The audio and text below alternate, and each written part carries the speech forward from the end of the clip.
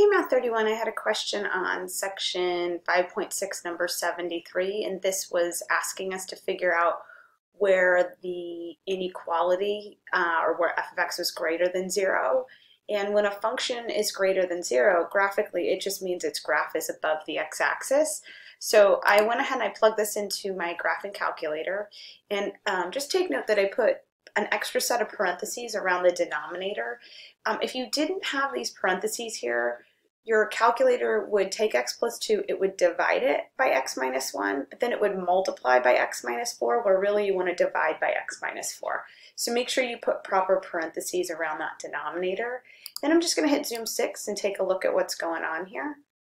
And, and when I look at my function, I can see that it looked like it was above the x-axis here and here, and then it was below the x-axis here.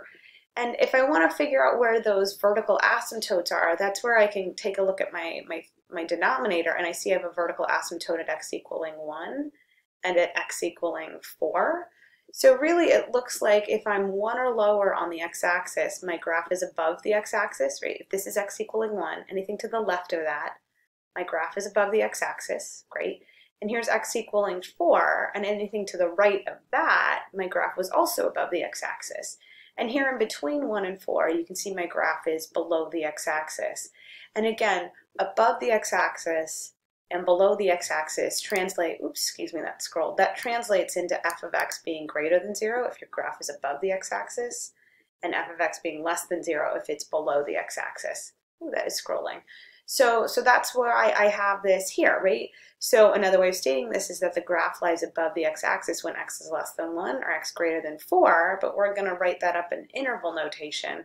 So I say, hey, as long as x is between negative infinity and 1, or 4 and infinity, the graph's above the x-axis. So you can see negative infinity to positive 1, I'm above the x-axis, or positive 4, oops, excuse me, positive 4, all the way to infinity. I'm above the x-axis.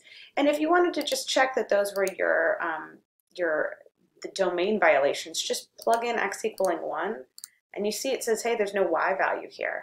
Right? I could also just try plugging in x equaling 4. There's no y value, y is blank. That's your calculator way of saying, hey, it's either a vertical asymptote or a hole.